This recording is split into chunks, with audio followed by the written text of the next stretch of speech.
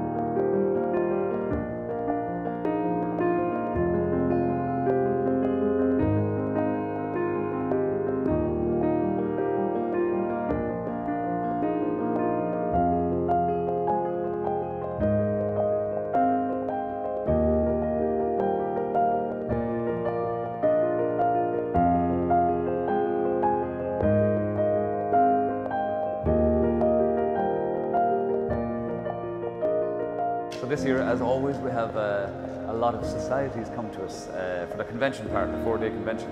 And uh, they come from Dublin mainly, but also Galway, from Cork. And uh, they come for the whole weekend of workshops and master classes. That's been a great part of the festival, really the heart of the festival, because it started originally as a juggling convention. And the convention is still very much in the heart of it.